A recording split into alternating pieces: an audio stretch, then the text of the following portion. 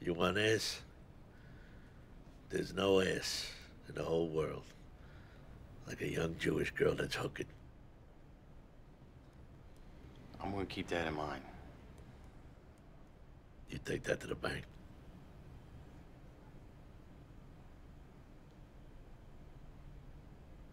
Yeah. First time I met Sonny. She walked in the room, I got a fucking enormous heart on. I could have fought five guys with this fucking prong I had.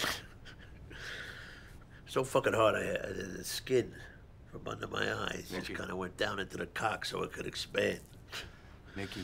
I fucking, you know, after I just wanted to fuck her so bad. She was so fucking beautiful. Mickey. I felt like a man. Mick. She made me feel good. What? You gonna be all right? Tomorrow night? The next?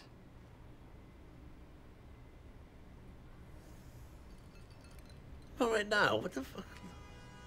Leave me alone. Look, this after was supposed to meet a guy, all right? I got a guy to take you around and all.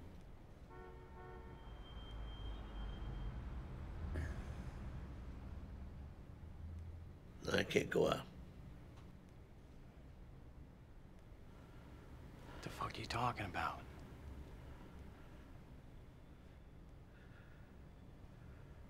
I can't go out. You come up here to do something, remember? For that. All right, go get him. Go get the fucking guy and we'll set this thing up. Go get him now. We'll set the fucking thing up.